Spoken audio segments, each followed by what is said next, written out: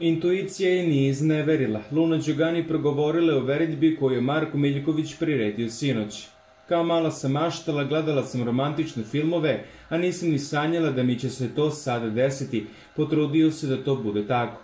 Presrećna sam, sve vreme gledam u prste, ne mogu da verujem da sam njegova buduća žena, rekla je i dodala. Osećala sam jer je on dva puta hteo da me zaprosi, ali ovo je treća sreća. Rekla sam drugarici da imam osjećaj da će to biti uskoro. Intuicija me nije iznevirila, sve izgledalo kao iz bajke, nisam bila svesna šta se dešava, posle pola sata sam došla sebi.